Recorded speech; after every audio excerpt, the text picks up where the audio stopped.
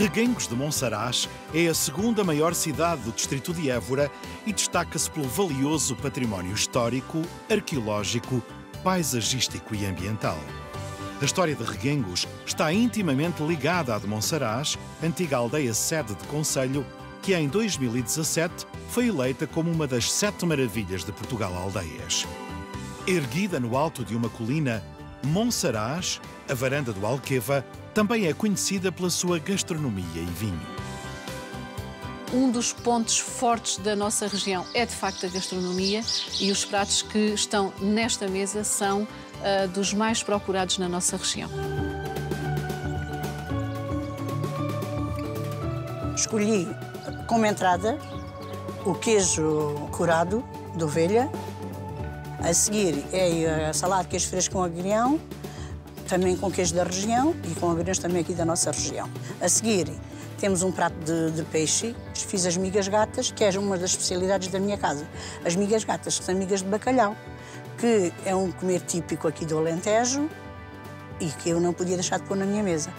Depois, como carnes, escolhi o cozido de grão, que é um comer tipicamente alentejano.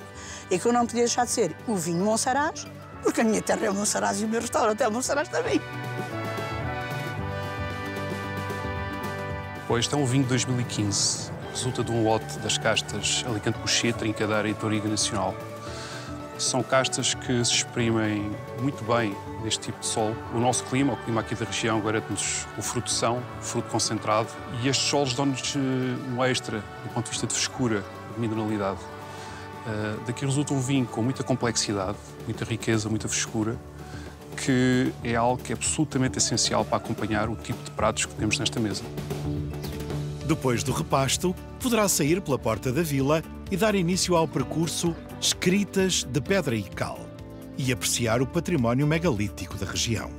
O percurso Escritas de Pedra e Cal representa Monsaraz na figura da cal e o megalitismo na figura da, da pedra.